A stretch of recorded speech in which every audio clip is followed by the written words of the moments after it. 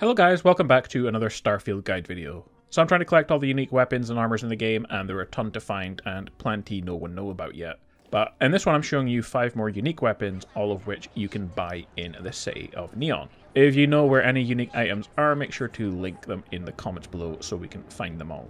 So the first stop in Neon is in the core, the shop called Neon Tactical. The vendor here will sell the unique weapon Boom Boom and the Buzz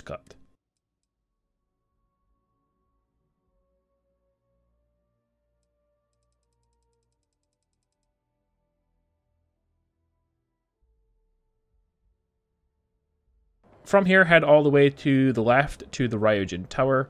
There is a shop here at the bottom called Arboran, and the vendor here will sell the unique pistol called the Spacer.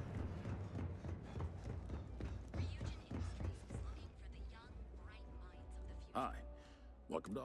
Hey, thanks for stopping by. Likewise. Let me know, what brings you to Ryujin Tower? If I were you, I'd start with the Ryu... Sure thing.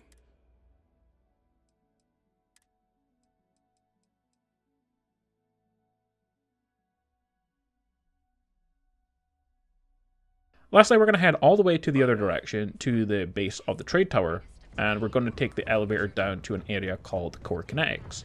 Here you will find a vendor here who will be able to sell the unique weapons called Mindtear and Poisonstorm, but they're pretty expensive, these ones. So guys, like I said, no one knows the location of all the uniques in game yet. I know of around 30 or so weapons and armor sets, but if you do find them, let me know in the comments and I will share the video on those.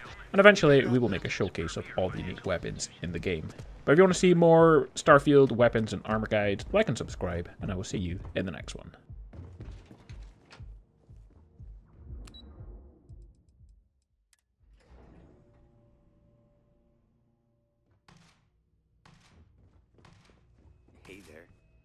Got plenty of art. Wait till you add one of